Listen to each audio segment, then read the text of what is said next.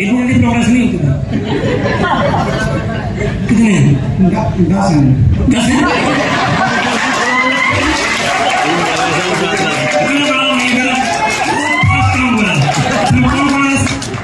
दो भाई हैं दो भाभी चार भती भतीजे भतीजियाँ और मम्मी पापा हैं अच्छा अच्छा ठीक है चलो बड़े बड़े कितने अठारह साल से ऊपर वाले लक्ष्मी भाई छोटा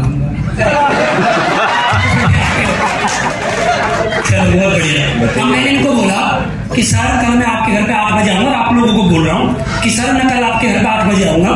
इन्होंने बोला कि मेरे घर में सब चार मेंबर छह मेंबर है। आपके घर में? ऐसे बता दो। सर मेरी फैमिली बहुत बड़ी है कितनी बढ़िया साहब? हम आठ भाई है छह बहन। चौदह हैं। एक पापा के घर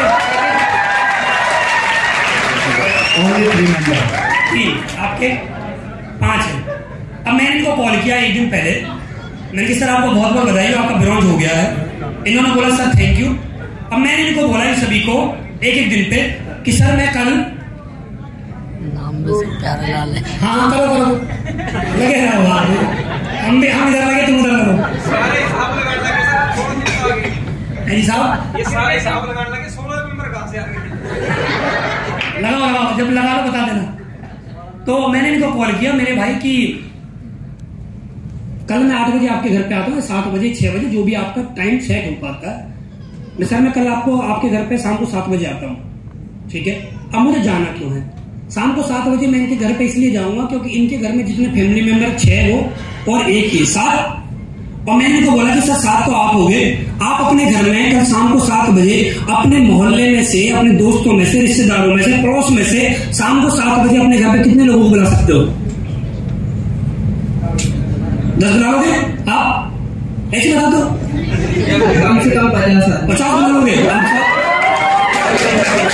दस पंद्रह? आप पंद्रह दस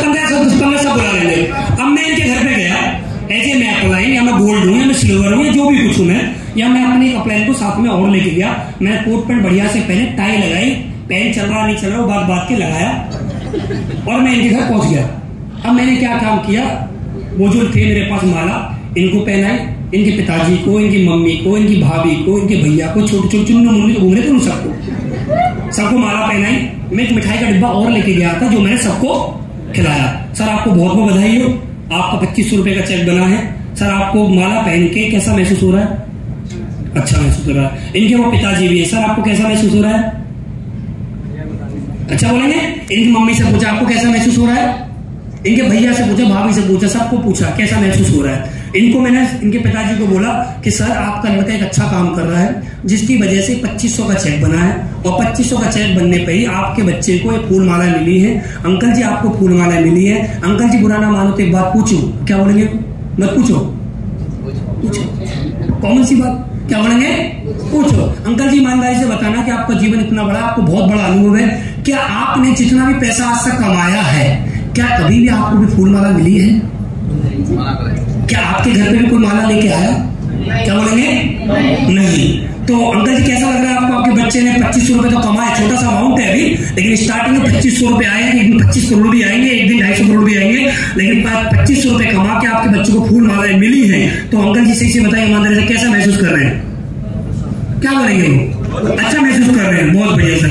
अच्छा जितने भी आप सभी साथी बैठे हो दस पंद्रह बैठे अच्छा आप सभी से जानना चाहता हूँ, आप सभी को कैसा लग रहा है कि आपका बच्चा या आपका दोस्त या आपका पड़ोसी को माला मिली है? आपको कैसा लग रहा है? बहुत अच्छा लग रहा है।